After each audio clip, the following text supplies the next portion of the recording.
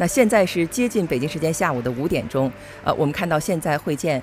刚刚结束，东大厅的大门已经打开了。我们看到现场的媒体记者也是一直守候在东大厅的门口，等待着马英九先生一行缓缓地走出东大厅。我们看到此时马英九先生已经走出了东大厅，而且刚才在这个大门打开之前，我们听到会议现场内响起了非常热烈的掌声。这次会见是习近平总书记在党的二十大之后首次会见台湾同胞，并发表重要讲话。在开场白当中，总书记首先指出，中华民族一路走来，书写了海峡两岸不可分割的历史，镌刻着两岸同胞血脉相连的史实。总书记从历史讲到了现在，既是对台独史观的拨乱反正、正本清源，也是为台湾同胞补了一堂历史课。总书记还说，两岸同胞都是中国人，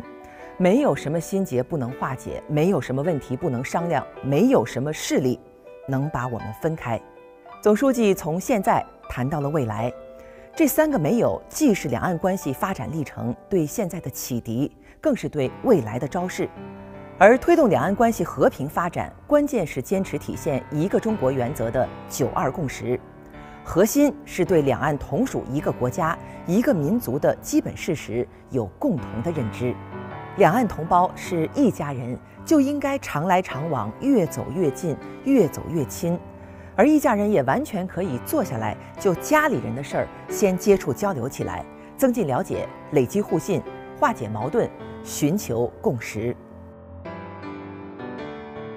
在这次马英九先生的大陆行当中，其实还有很多非常温馨的画面。在卢沟桥畔，马英九紧握着七七事变亲历者郑福来的手；在万里长城之上，马英九与学生们共同唱起了《长城谣》。而在今天的会见现场，也有很多非常温馨的瞬间。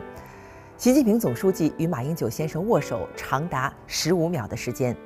而在与台湾青年学子的交流当中，也尽显对两岸青年的关心关爱和殷切期望。相信未来我们也会记录下更多两岸同胞携手同行、团结奋斗、共同振兴中华的动人故事和美好瞬间。